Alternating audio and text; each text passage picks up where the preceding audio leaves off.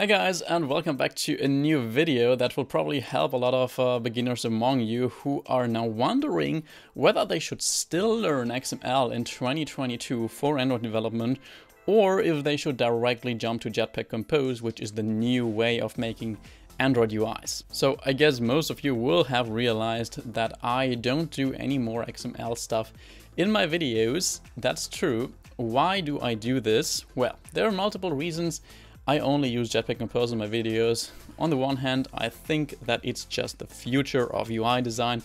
If you take a look at all the big front-end frameworks, all the big mobile frameworks like Flutter, like iOS, they all use this declarative UI design approach.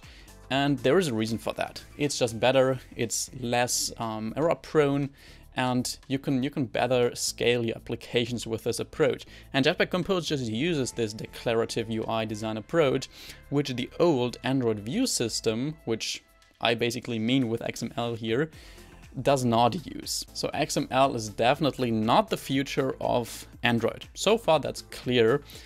And people just don't want to see outdated content on YouTube. I don't say XML is outdated. Um, let me phrase it differently. People want to see the most up-to-date content on YouTube. And that's just Jetpack Compose. That's why I only do this. I also have to think about making videos that people will watch in a year from now.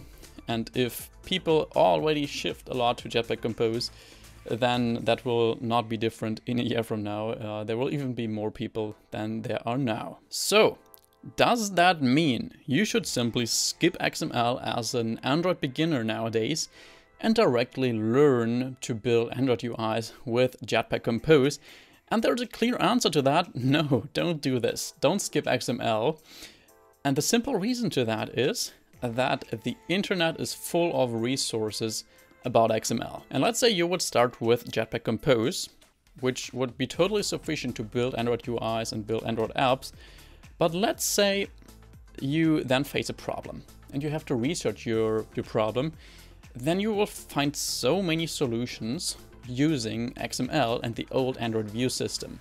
And if you then don't understand what happens there and why why everything works together the way it does, how it works together, then that will be really hard for you to actually take this solution you might find on Stack Overflow or elsewhere and apply to your project, to your Jetpack Compose project. So you really don't have to become a pro at XML and uh, the Android View system, but you should definitely understand how this works. And that includes, of course, building layouts with XML, like knowing the typical layouts like constraint layout, linear layout, relative layout, just knowing what these do. As I said, you don't need to become a master at it, but understanding what these are used for, how layout hierarchies work in Android XML, and that will also already help you to think in a, in a hierarchical way, you can say, in terms of building UI, because that's what you need anyways for any type of UI out there. Then of course you should know what Android views are, so on a class-based level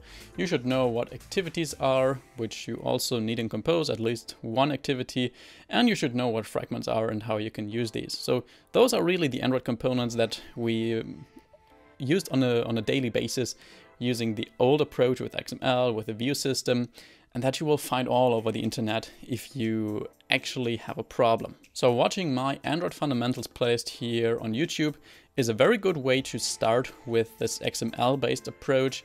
And as long as you can see um, an, I'd say an old Android project online, a legacy code project, it really isn't deprecated or so. You can still use XML for projects and be totally fine with that. But if you see such a project online, and you understand it and you understand how you could use a portion of that project and convert it to your compose code to make use of that in your compose code in a clean way, then you're actually ready to yeah jump into Jetpack Compose. And then I would also nowadays probably choose Jetpack Compose for new projects. However, again, if you still feel XML is a way you like and you enjoy it and you, you know it really well, then it's totally fine to also start new projects with XML nowadays, which um, I also often did for freelance projects specifically because I'm just more experienced with XML because Of course, there's a much, much longer time span in uh, which I build XML projects, and Jetpack Compose is still a fairly new topic, and it's often hard to find some specific solutions to your problems. But in the long run, you should get familiar with Jetpack Compose, because that is really where I see the future of native Android development in terms of UI design, because all big frameworks use this approach, and as I said, there must be a reason for that, and there is a reason for that. And if you actually want to know how I would approach learning such a new topic, then I have a really cool video here for you, which you can simply watch next.